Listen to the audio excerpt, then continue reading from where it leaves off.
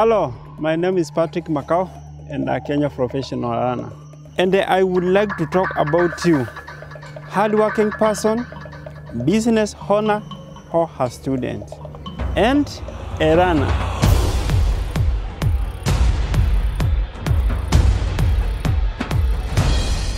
I would trade all cappuccinos and chocolate for a massage at least every other week.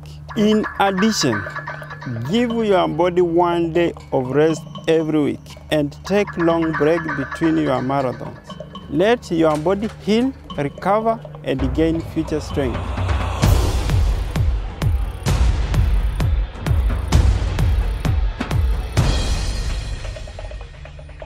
After your day runs, always stretch so you stimulate muscle repair. I am not good in this, but something have to be done.